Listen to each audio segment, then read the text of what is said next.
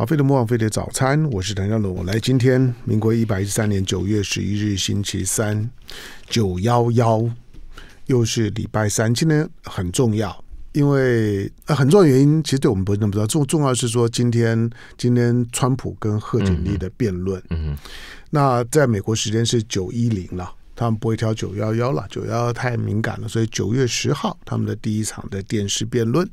那因为虽然在我现场的沈云聪呢，我们我们节目呢是是前一天录的哈，不过今天呢，今天中午的时时间，上午的时间呢是他们的辩论的，大概全美都会高度的关注，因为两个人现在的民调呢在伯仲之间。最新的看到 CN 的民调，其实在正负差范围之内，但是跟上个月有点改变。上个月我们说，因为民民主党在在办党代表大会嘛，所以贺锦丽的声声势呢一路的冲高，甚至在摇摆州的民调呢，似乎呢也都领先，俨然胜胜券在望。可是当他的他的就是党代表大会两党都开完了之后，好，接下去剩下的两个月的时时间呢，大家呢就回回到了一个一个基准点，大家呢重重新起起步。这场的选举其实现在才开始，因为党代表大会都结束了，然后也不会再挣钱换将了，副手也确定了。同时，所有的民民调都显示都差不多，摇摇摆州也差不多。好，所以一切呢从从头开始，未来的两个月不到的时间里面呢，才是选举的重头戏。好了，今天在我们现场的沈云聪，大家好，来，我们今天先从苹苹果台谈起好了，哎因为因为我们录录节目说苹苹果已经开完了，开完了它的它的新产品的发发表会，啊，你你有看吗？你先你你先讲了看看法，我想听，快点。呃，我先讲啊，没，因为事先就大概知道几个重点啦。呃，只是目前也没拿到手机，嗯不知道实际上的体验如何。他九月他九月十三号才预购啊，嗯对，九月二十号才开卖。那你像华为，人家预购 预购现在已经三，呃我们我们录的时候已经三百多多万了，那可怕。不知道了，所以嗯。所以就是说，看你不觉得现在很多人也都是这种心情嘛？嗯。就是就是真的想观望一下，呃，等一等，实际摸摸看的感觉嗯。再说。嗯。呃，因为我们都知道，过去十五代以来、嗯。A p p l e 主要都还是靠它的硬体创新，嗯。呃，使用体验上的改革啊，然后诶让大家眼睛一亮。但这一次比较特别的是，呃，软体部分啊嗯大家都期待说，诶，你说要 AI 是吧？那你的 AI 看看没有多厉害啊？嗯 嗯，还是有啦哦，但它 A 当然是硬体的部分，看起来也有一些好玩的点，但这个好玩的点值不值得？嗯呃，原本就已经换了十五，原本就换了十四的人，嗯呃，决定把他手边的这个换掉来升级，这个是很有待观察的。我觉得 i 十四就已经让消费者失望一一次了。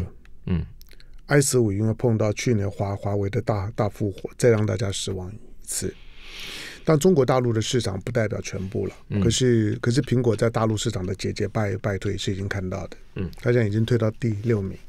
那这第六名并不是人家推推新机，所以你你往后滑，因为它的整个的销量呢是自己的问题就一直在在往下滑。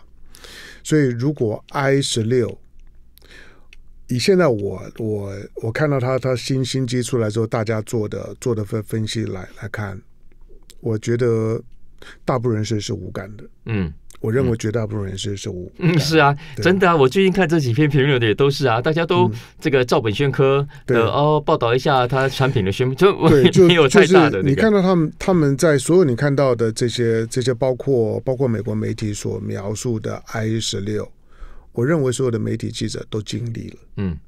就是讲讲不出什么新新梗，没有没有让你看到之后会哇那种的感感觉。因为当年 Steve Jobs 的时候是大家对鼓掌的那种对，感觉，当年你会你会你会你会觉得 Steve Jobs 上来之后呢，还没有秀他的新产品，大家就坐不住嗯了、那种感觉。然后当 Steve Jobs 呢，当拿着他不只是 Steve Jobs 会秀。那告诉你就说的这是好玩，而且你你知道 Steve Jobs 这种个性，就是说他一定是很得意的东西，他才会拿拿出来。可是现在的 i 十六，你光看照片，你你就是换换颜色嘛，这照片拍的很漂亮，换换颜色。好，那那那你刚刚讲的，来，我们我们回到回到，因为这这个你比我懂，我要问一下。第一个，你说它的软软体有些好玩的地方，好玩在哪里？就看不知道啊，就现在他有秀出来。再比方说，他呃现场秀的时候，像 OK，他这一次的几个重点，包括他的相机，嗯。啊多了个钮，照照照相功能多个啊钮，然后还有他的 AirPod，嗯。啊，那 AirPod 几个点，包括第一个，呃，将来有个新的功能，就是哎有来电，但这个你看到号码是你不想接的，嗯。你就要摇一下头，嗯。就自动挂断。嗯，他会好吧，玩这这这算是个好玩的，小东西，对不对？对，OK，然后呃，当然他希望进一步的，呃，他要变成听障者的这个辅助器了、嗯啊。嗯呃，他现在正在申请专利，也希望、嗯呃，如果可以，他等于说他代表着他呃是朝医疗等级使用的一款这样的一个耳机、等等了哦。嗯其实这些大家，我想你的听众也都很关心，会比我知道更多的细节。但是这整体来说，呃，就像你说的，我看最近看这几个，呃，不管是英国还是美国的报道，大家都我觉得心里如意嗯。啊，就比较礼貌上的，就是啪啪啪啪啪把这些功能介绍，然后呃，也有人试着想要分析这些功能，嗯。但是你可以很明显的看到那个热情度是是不够的啊，然后那个保留的。感受嗯。是很高的啊，嗯。那这个就像你说的，其实早从十五回退到十四，就已经给大家一种这样的感受了。这也是为什么过去这、这十二个月来的 Apple 手机的销售是停滞的，而且明而且是是其实实际上是有点下滑的啊。嗯那这个其实我我觉得跟华为的关系不大，嗯跟中国的手机的创新进步的速度反而关系不是那么大。我认为真正大的还是他自己。嗯嗯的创新能力的停滞，给大家带来的有不再那么高度的信任。嗯以前是你这这款手机出来，哇，想办法这个口袋勒紧紧，我都要想办法换换一台啊。但现在呃，这种热情消失了大半，就是很多说看看吧。再说啊，所以这为什么很多人到现现在手上是拿着十四，甚至是十三你不要这样讲，我拿十一，呀？所以呃，这是这是美国现在嗯，待会我们可以一起再聊聊其他公司啊，嗯。过去这一个月的状况。呃，因为接下来九月了，十月了，你会发现今年以来的嗯。整个 Big Tech 所造成的股市的旋风，嗯。都不约而同的在现在呃可能会出现了某种风向的转变。嗯。嗯，Apple 只是其中一个例子嗯。而已哈、所以其实呃 i 十六基本面严格说是对它有利的，因为有很多在十四、十五都嗯不再换机的人，现在也蠢蠢欲动，其实就等着你这款新机有没有办法让我耳目一新，让我眼睛一亮而已。嗯嗯，对了，因为对对手机的使用者来讲啊，我觉得要换一个系统，它确实很麻烦。嗯就是无痛，我认为无痛换换机的这种的优优势，是苹果还能够维持基本盘的原因。嗯，毕竟方便很多，那系统也稳定。我我我认为苹果的系统，你用习惯了之后，它基本上是稳定的，嗯是 friendly，这这些呢都没有问题。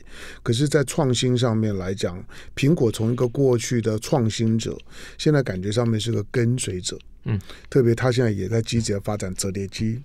啊、他他看到了一些，就是有一些有一些有一些趋趋势他，他似乎就落我后。我们回头看，基本上啊、嗯你你自己想观察，回头观察看，为什么这些人会需要、嗯呃智慧型手机？嗯呃，为什么要频繁的更换智慧型手机？然后我们现在手上拿的这个 Apple 手机，嗯到底代表了什么意思？我们用它来干嘛？对我们来生活中最有关系的层面在哪里？好，第一个呢，其实当然就是 Apple 这个品牌所带来的象征性。嗯，我就是酷，对啊，我就是有品味嗯啊，所以买 Apple 跟买三星、买其他的嗯 Android 系列的最大的差别在这里。但是实际上，你说功能上有太大的差别吗？嗯你最常使用的用你手上这款手机在做什么？嗯大部分人其实是两种而已。第一个是 social 嗯 messaging 啊、嗯 Facebook 啊、IG 啊，这是第一个。嗯再来第二个是呃那个娱乐娱乐对 entertainment，对就就觉得嗯。嗯玩 game 啊，嗯。追剧啊，其实就这两个而已，其他都是附加的。比方说，呃，你说拍照好了，拍照当然是大家都要拍对，其实拍照是就是为了服务前面这两个嗯。自己想要功能啊，对。上传啊、嗯分享啦、要么就是呃 自己拍的好玩啊、嗯啊等等。所以你从这两个角度来看，Apple 它昨天所宣布的这个一些软体上的功能，呃，你说真的对 AI 大家的需求这么的高吗？嗯呃，AI 其实未来它真的能够发挥价值、创造呃影响的，其实还是在工作相关的方面啊，嗯在增加你的生产力的提升。呃，但如果大家其实用手机在工作的呃时间点还没那么到的时候，我说不是说没有，但现在其实真正在工作上，我们都还是靠笔电啊，因为那个手机荧幕太小了。对 啊，像像你这样，可能因为工作性质的关系，比较灵活的走动也就罢了。但其实，即便是你，我相信你用手机工作也是非常有压力的、嗯啊，因为毕竟荧幕那么小。嗯像我最近就是开始学你用手机来写稿，嗯一边念了一边看，嗯但其实荧幕对我来说还是太小。小啊，但是三三三折机可能真的帮得上忙。哎，对，嗯就希望是这个这个方向。未来会嗯会出现，但其实否则以目前为止，呃，好 Apple 它所秀出的，透过 AI 来让你的嗯写作，呃，让你呃制造各种迷因图啊，呃 emojis 啊，可以更漂亮、更方便，也就是如此而已。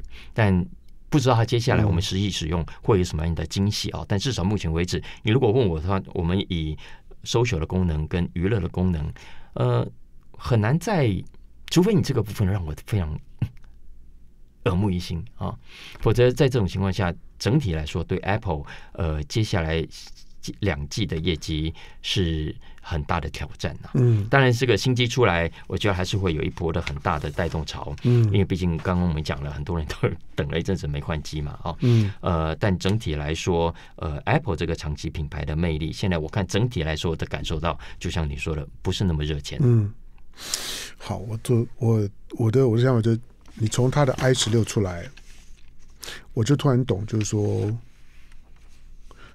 巴菲特为什么卖掉了很多苹果的股票，嗯哼，嗯。那个是有道理的，不完全是市场的因素。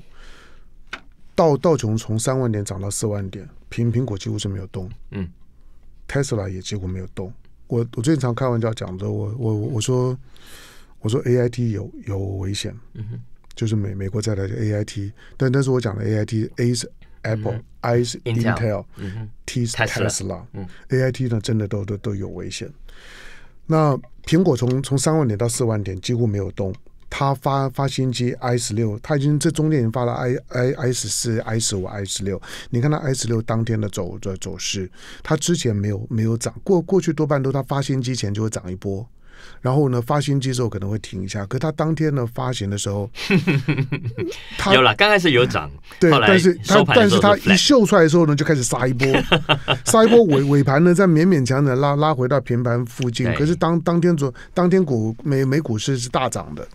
好，第二个就是说，我觉得同意同意，嗯我不晓得你觉不觉得，我觉得苹果的苹果现在是伤害最大的是，我觉得它的名牌效应没有了。嗯就是它不再被被当做是一个我应该要拥有的名牌，所以我愿意去换机，愿意跟上，对，愿意表现的我我对苹果很热情，然后我很愿意去就去排队，而且我拿到苹果很急的开箱跟大家分享。然后呢，我每次开箱的时候都会有很高的点点阅率，媒体也很愿意去呢免费帮你报道，因为报道比苹果会有很很很高的阅阅读率。我觉得这些效应都在快速的衰退，嗯嗯，这个呢伤害就就非常大。所以我说这个是品牌上的折损所带来的影响，否则就实际嗯产品硬体的功能，嗯它还是。想办法一直在更新嘛？你看这一次他说嗯，呃，电池嗯寿命可以更长嗯啊，然后它的 CPU 也是更强的嗯的晶片，然后呃，在隐私的保护上，它现在已经相对于 Android 平台要好很多了，但嗯还在进一步的加强。嗯比方说，它就是不让你其他的这些 App 来。乱追踪一通等等，我觉得这些都是很好的进步了哈。嗯只是说，呃，这样的进步有没有办法？不能说有没有办法，其实毕竟上没有办法追上消费者的期待了。嗯，对，就是消消费者会觉得这这些已经就过过去刷挤牙膏，每每次只改一点点，改颜色啦，改一点荧幕啦，改一点它设设计的角角度，那个那个都已经都已经没有什么魅力，因为在它过去的优优势上面，属于设计美学的部分，我觉得其他的手手机厂都跟上来都很快。所以你越来越像了，对，越越来越像。大家在在设计的美学上面差异不不大。那在系统上面来讲，在在在硬在软硬体上面来来讲，就是没有让人家惊艳的感觉。那你看到看到现在，当他要面对到面对到华为的竞争的时候，因为苹果。华为不管怎么讲，我当我看到他他要推三三折机的时候，我说我说第一个先先不要说呢，i i 十六，嗯，我说华为推三三折机，第一个会受重伤的呢是平板电电脑，嗯，就当我在三折机的时候，我出门干嘛带平板？就是在过去可能有有很长时间我要带手机带带平板，就你讲的，就平板荧幕还还还还是大一点。可是当我有三折机的时候，平平板一定会受影响。先伤到的是是平板，iPad 就会受影响。第二个，如果我三三折机收起来的时候的那个厚度，真的跟你的苹果的 i i 十都差不多的。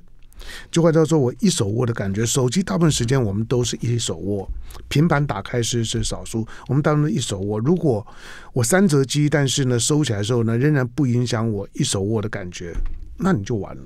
其实其他队的对手真的就就很麻烦，还还有重量因素。对我我我认为他很可能会做到这一点，虽然我们录的时候呢还没有还没有看到。第三个就是说，当他用一个当他做三折三折机的时候，他敢于挑同一天去跟苹果的 i 十六对对刚，明明知道苹果的 CPU 是赢赢你的，嗯嗯，我凭什么跟你对对对干？这个是我我在我我在看的，就是他的他的他的系系统，他的 C CPU，他的晶片。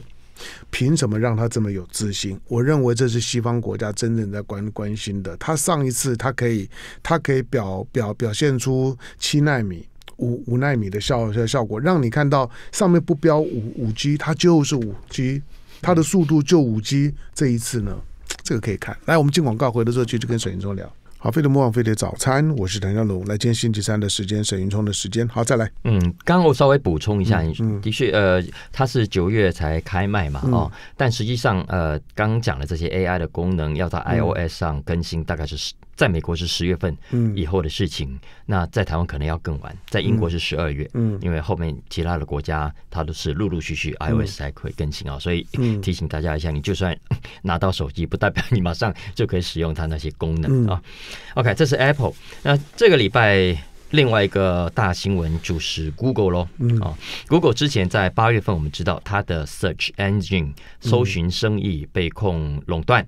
啊，呃，现在这个礼拜之马上要展开的是另一场官司，是指控他的广告业务垄断。嗯，啊，这个是目前美国的科技业非常关注的一个官司，因为如果呃，因为上次的搜寻引擎的垄断，呃，已经法官判说成立啊。嗯，那如果接下来这一起官司也影响到 Google 的话，那么接下来整个市场看起来会有很大的变化啊。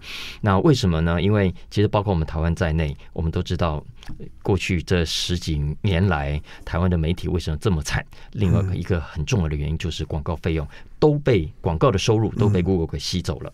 以去年来说，Google 的收入有三千多亿美金，嗯，其中有四分之三都来自广告啊。四分之三是多少呢？大家乘一乘。就是两千亿，嗯，美金耶，可可怕，一年呢两千亿美金啊，可怕。现在广告几乎全部都在那个两千亿美金是多少台币？大家算一算啊，里面大概台湾贡献度少则大概是一百亿到两百亿之间啊的台币了哦。所以意思是说，它基本上已经把全球。过去传统的不管是纸媒还是电子媒体还是广播电视媒体的广告预算都吸走了大半。呃，这是造成全球包括美国他们自己在内这些主流的媒体，呃，大家都非常不满的一个很重要的原因啊。那 Google 呢？它继我们刚刚讲的八月份被法官裁定它在搜寻上有垄断地位之后，那这个礼拜。在广告业务上，美国司法部呢也要再一次希望可以证明 Google 呢在全球，特别是美国的数位广告业务当中，已经违反了美国的反垄断法。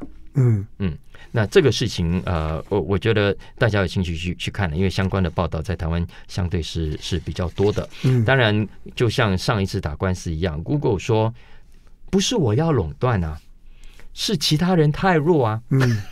啊，他没有讲这句话，他说的是大家会选择我是因为我的服务好，是因为我的产品有效率。嗯。我没有强迫你来用我的 Google Search，嗯。OK，你可以去用 Safari，你可以去用别人家 Firefox whatever，不不管这些浏览器，大家如果你有别的更好用的搜索引擎，Go ahead 啊，嗯但最后大家都来用我，只是因为我好用啊，能够找到他们要的答案。嗯广告也是一样，他就说啊，就是因为我自从购买了 Double Click 之后，你知道我在广告科技现在所掌握的技术是很厉害的啊。嗯你们不管用什么样的关键字，我都有办法呃满足你的需求，让你最有效率的去达到你要的 TA。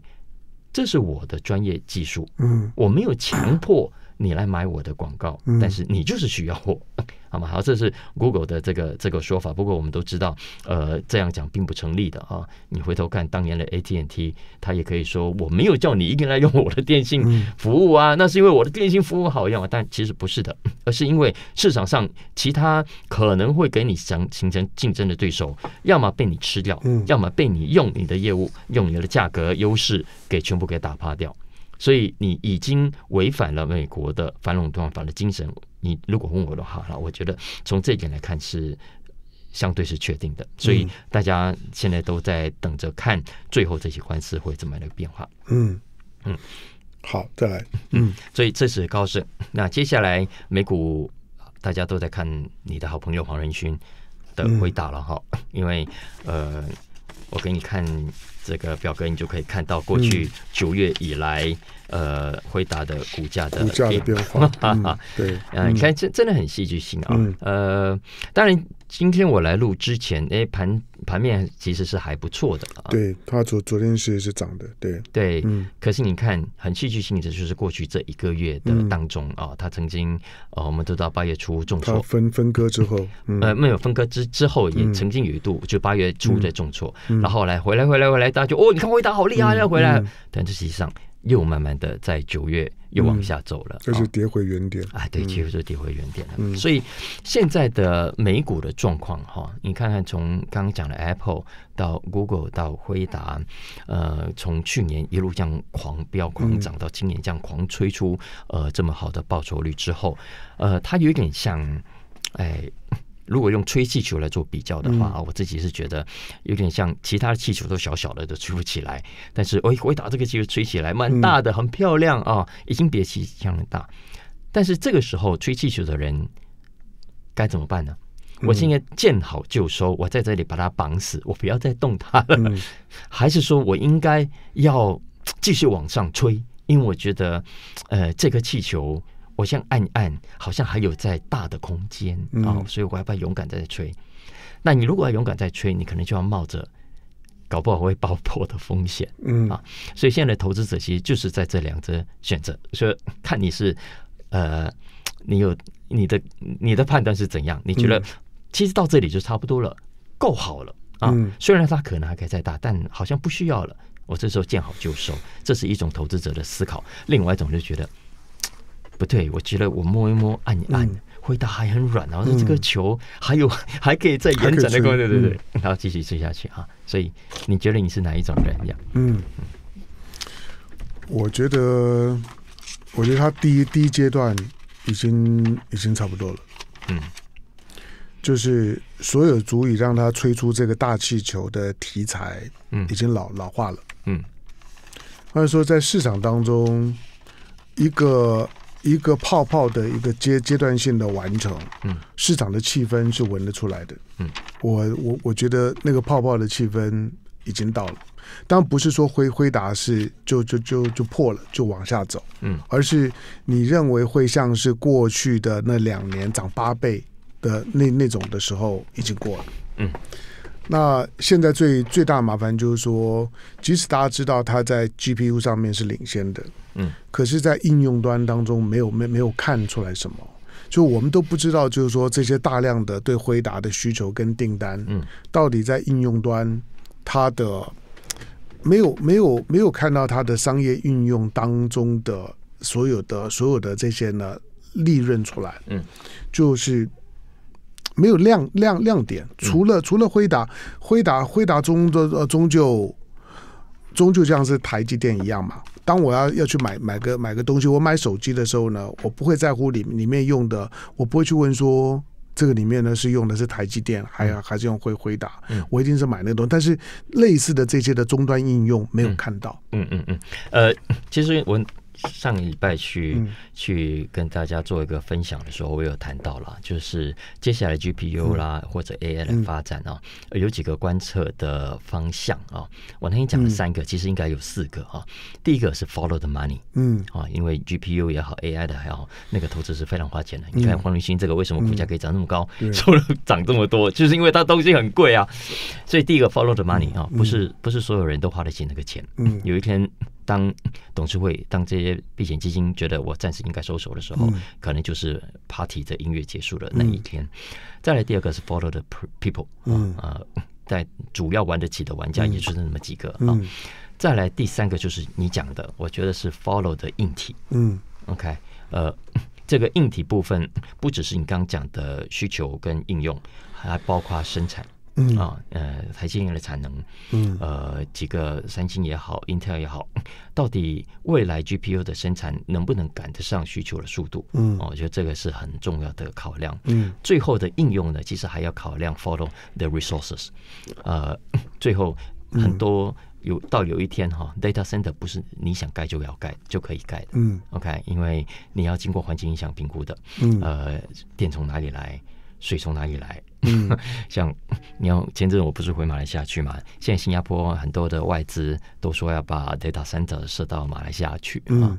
那马来西亚当地其实一则以忧，一则以喜啊。喜的当然就是哇，有外资要来啊。哈，但是忧的是，那接下来电够不够？嗯，接下来水够不够？嗯啊，因为我们都知道它。需要大量的水来降温啊，等等的功能，所以呃，像最近你看马来西亚已经有些地方就在停电呐，原本的电都不是那么够用了啊。那接下来怎么办？所以未来这些呃，不是只有台湾，呃，之前如果听众朋友听过那个 Eric Smith 他的分享的话，就知道他同样也提到这件事情，即便是在美国都没有足够的电力来支撑这么多的 data center，所以他就就说，嗯，美国现在要。一定要跟加拿大搞好关系，因为未来会有很多的 data center 要设到天然资源比较丰富的加拿大去啊。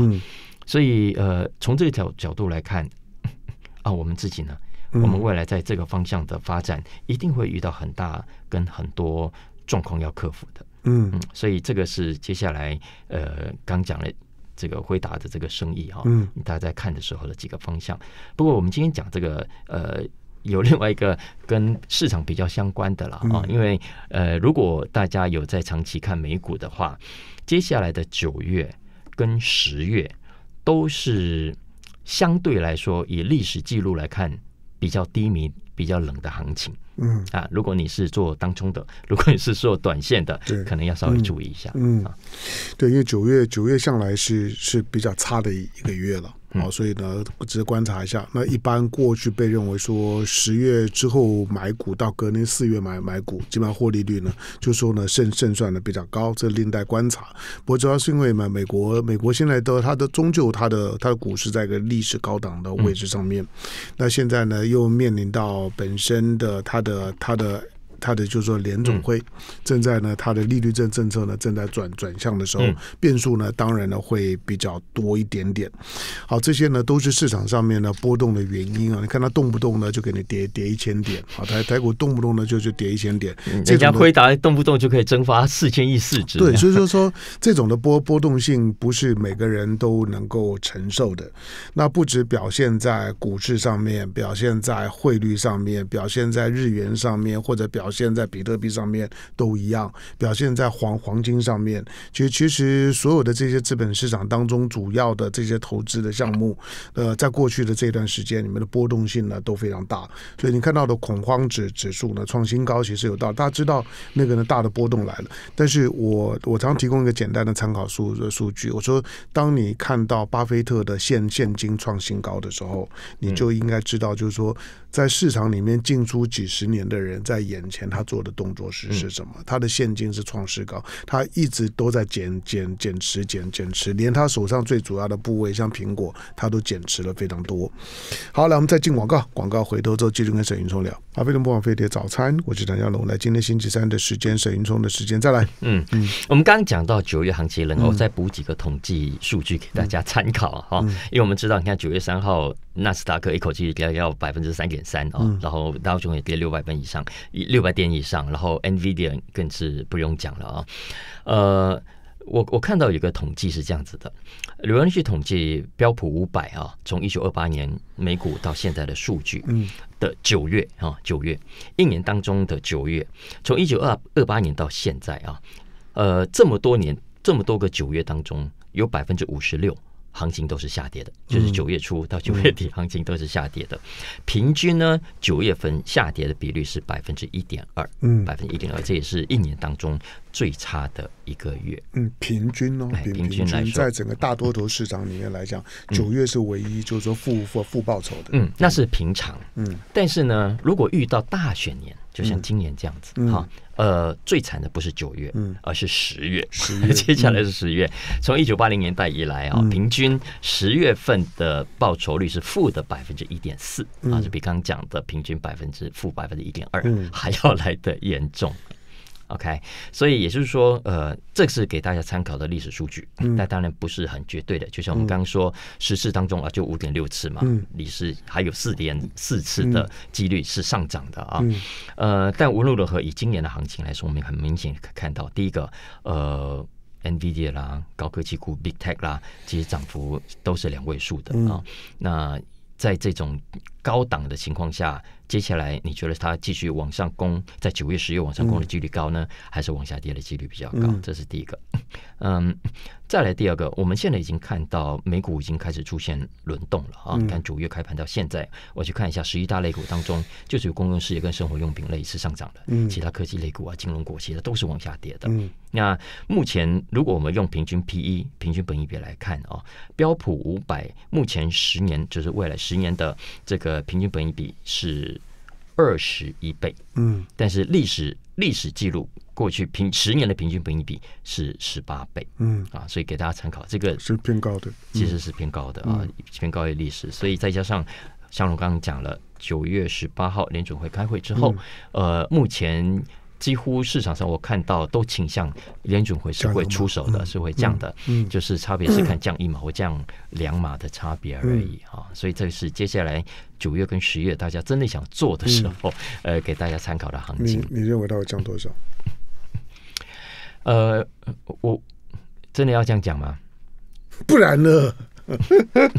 因为这个猜呀，就是对，所以是赌大小而已啊啊！你如果问我猜，目前的氛围，其实因为。嗯，好了，我我自己的感觉是大概会降一码，嗯，我认为是降一码，嗯，OK，但是我会说这个就是完全不负责任的猜测而已啊，因为我们所看到的数据跟联准会不太相同。在第二个，我们的考量也会跟联准会主席，嗯，呃，跟董事们的考量不太相同，毕竟今年是选举年啊，那 他们现在内部一定会有一些呃 power game 在进行啊。那所以我们不知道在这种情况下，呃，他们所看到的数据是怎么样，以及看到这个数据之后，他们决定要挥一拳还是挥两拳这样啊？所以这个纯粹是不负责任的猜测。那你那你觉得呢？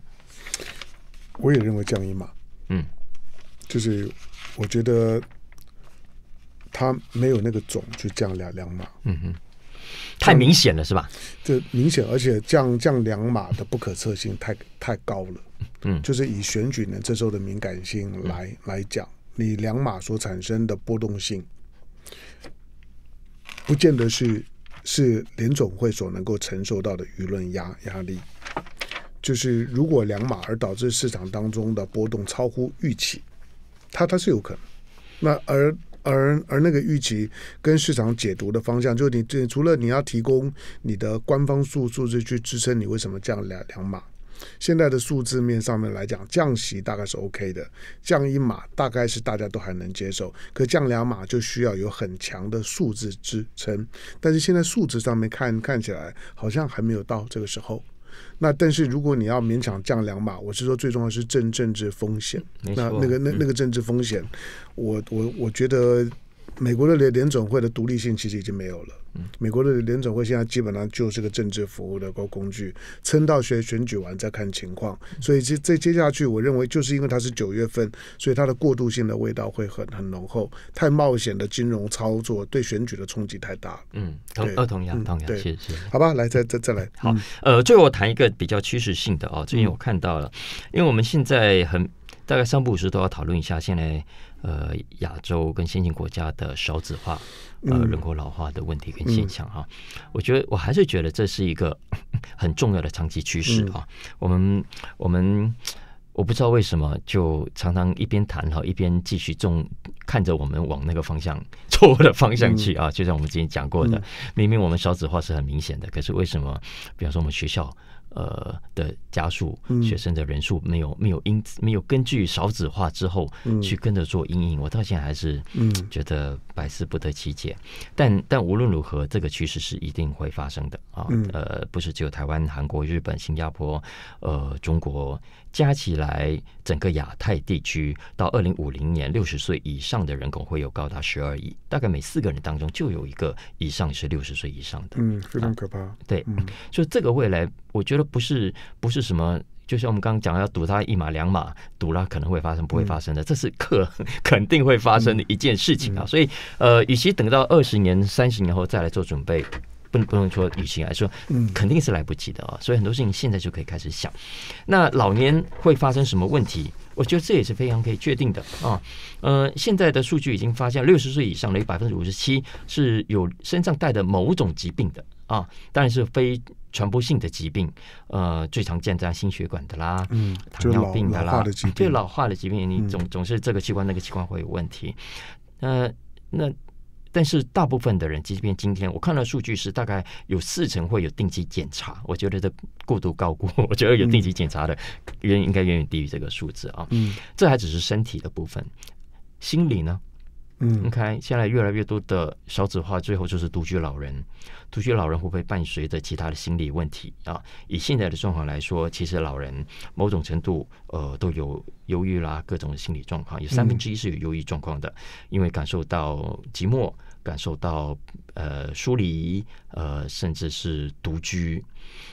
那以上的这些问题，未来要不要解决？嗯啊，未来只会比现在更加的严重。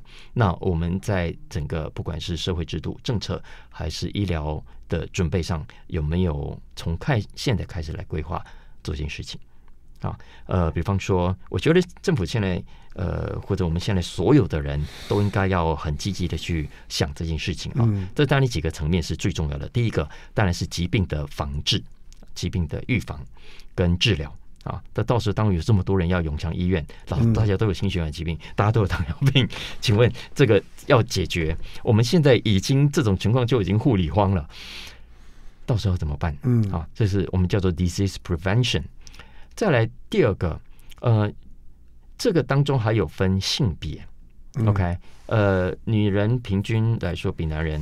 长寿，长五岁，对，所以呃，女性遇到这样的问题也格外的时间会比较长啊，呃，所以女性的 depression，她忧郁症的比率也是普遍比男生高的，现在有百分之六十。嗯，再来很多女生，至少以现阶段来说，呃，不管是就生活资源还是医疗资源的取得，也不如像你这种有地位的男性，对不对？哈，所以到时候这些人怎么办啊？是不是要额外提供给？女性的老人、长者额外更多的协助，是不是应该从现在开始规划啊？再来，呃，bottom line 是，呃，我们其实应该要鼓励的是，不是那种没有收入、游山玩水的退休，而是让，因为你真的要这样，事先要准备的钱是很多的嗯啊，然后也会给大家带来很大的不安全感，然后很大不安全感。反而回过头来造成身心上的问题。啊，嗯所以呃，你有没有办法让老人呃活得更安心，让他知道说，即便是六十岁以上了，即便是七十岁以上了，嗯。他都可以有某种的 employment，他都可以有某种的就业的嗯机会啊。呃，现在最大的问题是，很多这种类型，因为政府强迫你要退休嘛，企业也觉得你应该要退休嘛，所以这些老人要出来就业，往往是非正式性的 informal 嗯。的的这种 employment。那 informal 大家知道，就某种的黑市、某种地下经济也特别容易受到剥削。那这个情况，其实未来是不是应该从现在开始，我们来想到时候你我老了，呃，我们没有节目做了，嗯 接下来可以做什么事情？有一个让我们可以诶打发时间，再加上赚点吃饭钱嗯的这种工作形态有更多的话，那其实以上这些问题啊、呃就某种程度可以获得疏解。好，嗯好，就是谈到了这个，其实倒过来了。我刚刚讲这虽然是问题，我其实要讲的是，如果我们从现在开始，民间跟政府可以往这个方向投资的话，我看到一个很乐观的预估，它未来会带动所谓的银色红利。嗯或者银发红利，OK，Silver、Dividend，呃，据说可以为 GDP 亚太地区的 GDP 增加百分之一点五。嗯，好，Anyway，呃有有这么一个一个话题，好。当然，你刚刚讲的那那几点，其实林哥讲都是老老生常谈。对，那它的根本的问题就是说，虽然那是老生常谈，但是市场上面没有足够的动能去去满足这种老老生常谈，而且显而易见会出现的问题，就市场上面还没有人认真去做这一块。嗯，好，但是它终究是会出现嘛。就说、呃，我们要温水炖鸡还是温水煮青蛙？嗯呃，这个这个选择嘛，哈，嗯所以我的意思，我们现在很多的关于人口老化、少子化的问题，呃，比较让人担心的是在温水煮青嗯蛙，哈、嗯可是如果你倒过来是有去面对这个问题，嗯跟慢慢解决的话，那从现在开始以终为始嗯啊、你慢慢的炖鸡汤，嗯 到时候你就会喝到比较健康的东西。好，你干嘛这个个表情？对，没有，因为因为因为鸡汤的比喻 太鸡是是，这个是很鸡汤。好好来，呃，当然这这这这些问题呢，大家呢可以想想，因为每个人呢都遇遇得到。可是我觉得，因为老人的问题，他特别困难，就是说，当老人开始出现出现孤寡独独居的情况呢，他他他都没有办法改变，因为这在你年轻有生育能力的时候就就决定了，我觉得你真的要认真嗯啊！像你人缘这么不好，到时候独居的几率很高。很高啊，很高啊。就是说，就是说，就是其实我我周围人像我老婆啊等等，他们都已经表想不理你对吧表明一定弃养啊，就就就就是。就是这这这，其实我早早就有心理准备，他们都已经表表明，就是一定一定弃养啊。你也后悔为什么找这种来宾？对，我还我还我还我还我还跟他们讲说，那你要就把我送养老，这什么什么送养老院就丢到路边就好了，这根本根本没有人要那个好，这个大家都会遇遇得到。我是说我周围其实已经开始出现一些对自己年轻时候呢，可能觉得哎很自由很浪漫，可是对自己的晚年开始焦焦虑的那个已经出现了。，好，其他问题呢大家自己想。感谢礼拜三的时间，沈云聪呢到节目的现场，感谢。谢谢。